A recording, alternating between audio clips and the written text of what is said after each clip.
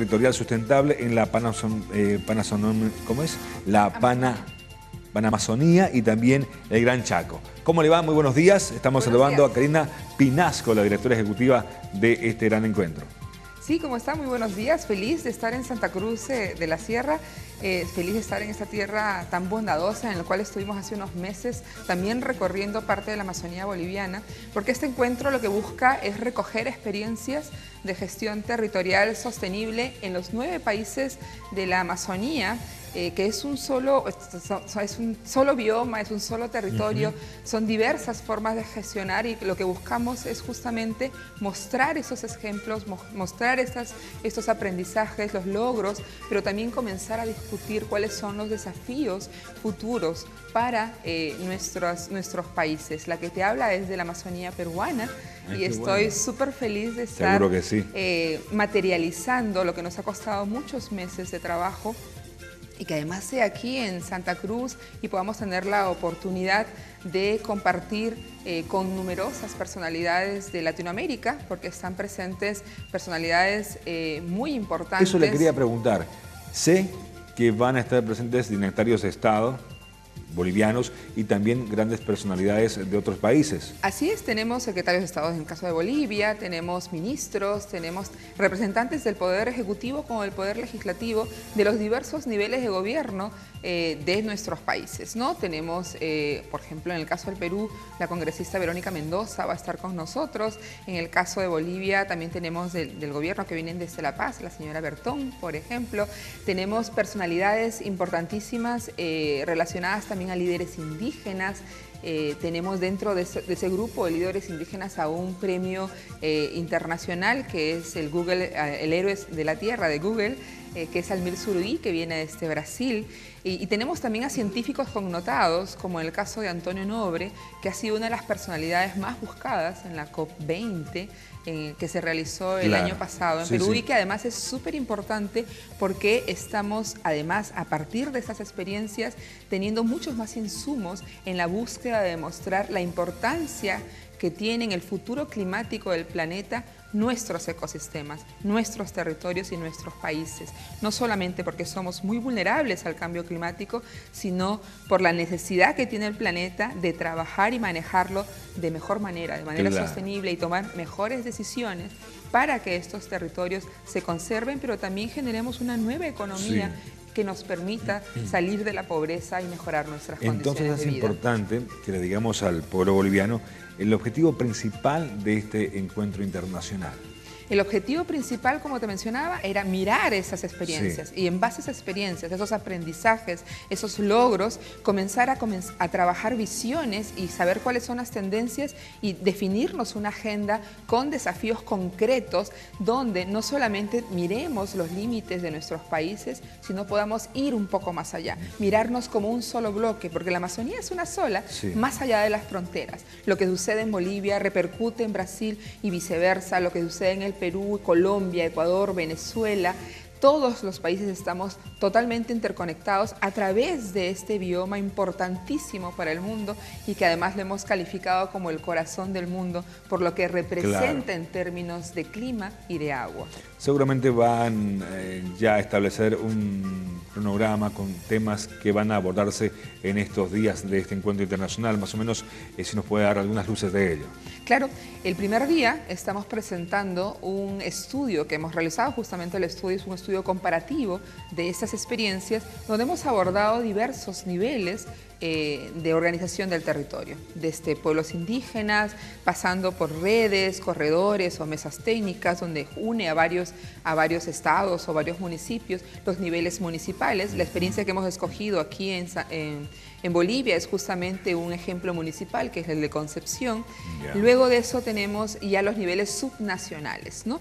Vamos a hacer toda una evaluación de, los resultados de ese estudio, eh, cuáles son esos aprendizajes y cómo a partir de ahí comenzamos a mirar el futuro. Y el día de mañana es un poco ver también cuáles son esas tendencias, ¿no? Tendencias desde el enfoque del territorio. Entonces, ¿qué hemos logrado y qué tenemos y hacia dónde vamos en términos ambientales, en términos económicos productivos, en, términos eh, sociales y culturales? y también en la parte política e institucional que es tan importante. ¿no? Y vemos cómo este, esta articulación en estos cuatro ejes del desarrollo nos permite avanzar hacia los sueños que tenemos, los sueños que anhelamos, que es que todos tengamos, eh, podamos vivir bien, el buen vivir. Claro que sí. Bueno, ¿y cuáles eh, seguramente van a ser los disertantes, las personas que van a estar haciendo uso de la palabra? Tenemos consultores de, muy, de mucho reconocimiento de los diversos países de, la Amazonía. En cada país tenemos identificado personalidades, pero además de eso tenemos a especialistas eh, eh, desde la parte académica, también tenemos científicos, en el caso de la académica tenemos a Promay, que es una personalidad que viene definiendo mucho el tema de nuevas economías y las posibilidades de cómo eh, desarrollarlas o, implementarlas. En el caso de Antonio Nobre, que es un connotado científico eh, que tiene mucha relevancia con relación a los acuerdos climáticos que se están discutiendo ahorita a nivel del mundo. Tenemos a líderes indígenas en el caso de, como te mencionaba, gente que viene de Ecuador, gente que viene de Colombia. Tenemos también líderes jóvenes que, son, eh, que, sentimos que estos procesos, la importancia de estos procesos es cómo hacemos ese relevo y cómo el, esfuerzo no se queda en un grupo humano, sino tenemos la capacidad de transmitirlo hacia los más jóvenes. Eh, y bueno, y tenemos eh, una buena cantidad de personas y experiencias, lo más rico de esto son las experiencias que nos van a mostrar y bueno, y vamos a poder discutir, vamos a poder compartir, vamos a poder enriquecernos y también hermanarnos, ¿no? Entender de que somos países hermanos y que más, allá de, más allá de las diferencias hay mucho que nos une.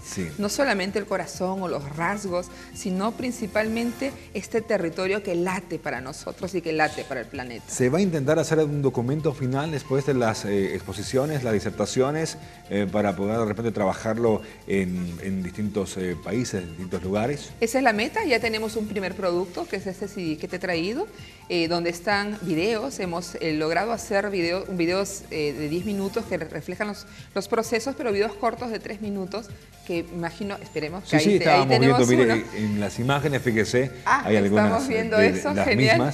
Eh, esos videos cortos que muestran un poquito ese mensaje de esperanza. Los cambios, en base a estos procesos, los cambios eh, sí son posibles. Entonces lo que queremos también es mostrar eso, de que hay gente que se esfuerza, que está luchando, y esto se va a complementar con, eh, con los resultados de este taller y tendríamos una publicación final justamente con todo este esfuerzo. ¿no? Aquí tenemos ya un buen avance, te lo dejo para que lo disfrutes, para que lo compartas.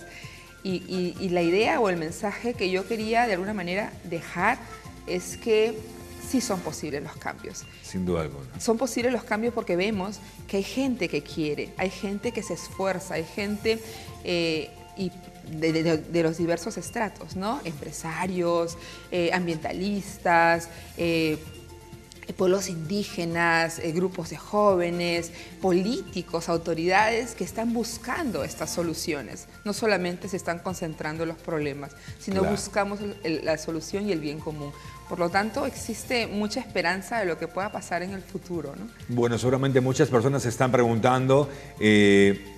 ¿En dónde se va a realizar esto? ¿En qué horarios? Se va a realizar en un lugar súper lindo que tenemos aquí en Santa Cruz, que es el Centro Cultural Plurinacional, ya. Eh, que está en la 21, 21 de septiembre, ¿verdad? O 24 de septiembre. 24, por dos días, tres días. 24 eh, de septiembre, que es un lugar además súper lindo, donde, donde gracias al auspicio de, este centro y las, eh, las exposiciones que hay ahí dentro nos han permitido entrar a ese lugar tan, tan bonito y que muestra también algunas cosas de la Amazonía.